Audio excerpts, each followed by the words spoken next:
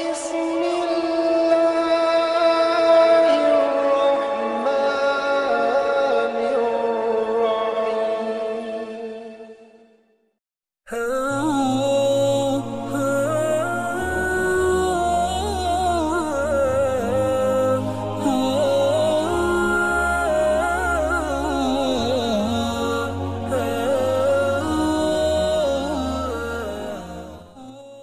Bismillahirrahmanirrahim.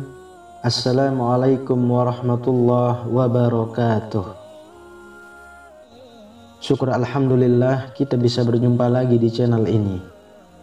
Salawat dan salam selalu dan tetap tercurahkan kepada junjungan kita Nabi besar Muhammad sallallahu alaihi wasallam.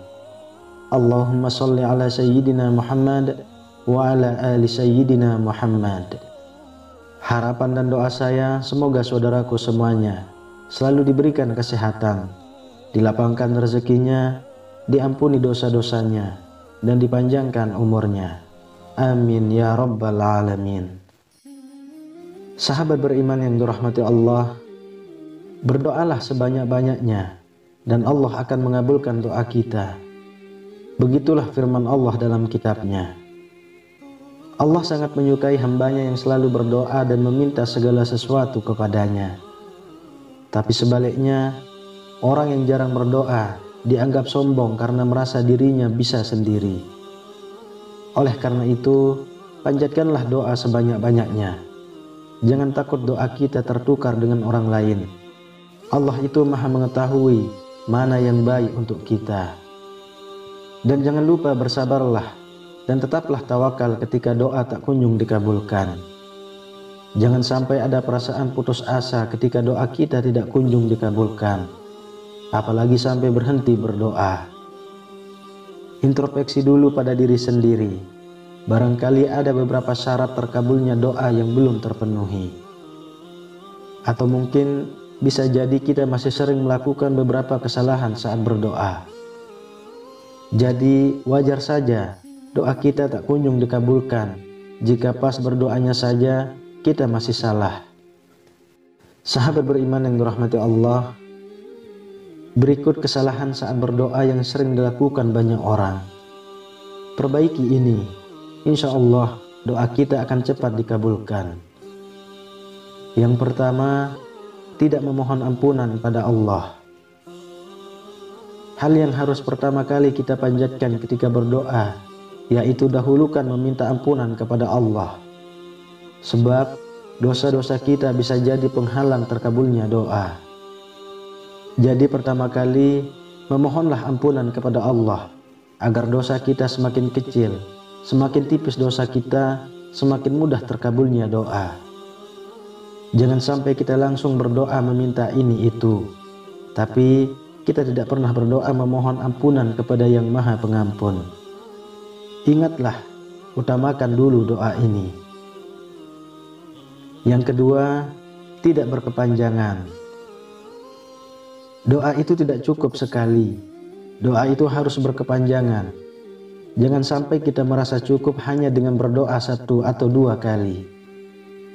Kalau kita suka begitu, jangan salahkan siapa pun kenapa doa kita tak kunjung dikabulkan. Seharusnya setiap saat kita selalu berdoa, terutama setelah sholat fardu, lebih baik lagi setelah sholat malam.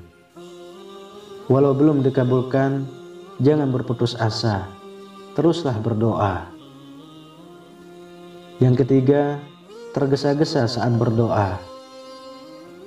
Ketika berdoa, kita harus fokus hanya kepada Allah dan doa kita.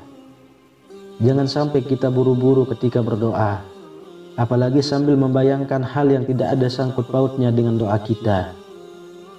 Saat berdoa itu tenangkan dulu hati kita.